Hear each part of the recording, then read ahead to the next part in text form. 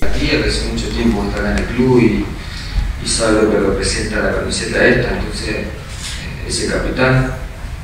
pero bueno, tiene, tiene buen pie, tiene buena actitud, por eso te digo que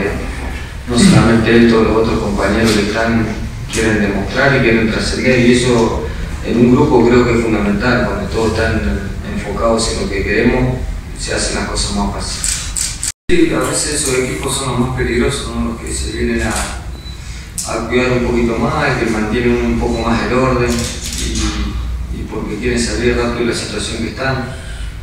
Nosotros no tenemos que desesperar, si bien nos han dado los resultados en casa de, los tres puntos,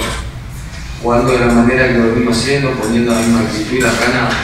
van a, van a mismo rápido esa, esa victoria que alcanza con nuestra gente. Me han tenido grupos de que llevé,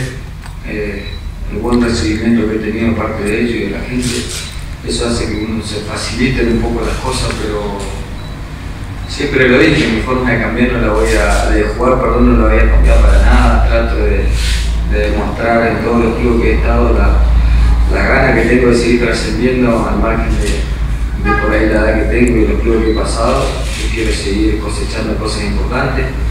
Es una linda oportunidad León y, y creo que todos los compañeros están en el mismo canal, así que esperemos seguir con esta buena racha que tenemos que, que hemos empatado hoy y bueno, lamentablemente nos tocó perder local, pero ahora ganamos y esperemos seguir con esa racha ganadora. Cuando se pierde la pelota son los primeros que tenemos que correr para recuperarla y, creo que lo estamos entendiendo de toda esa manera, no, no solamente yo, eh, todo el grupo, los chicos que les toca jugar,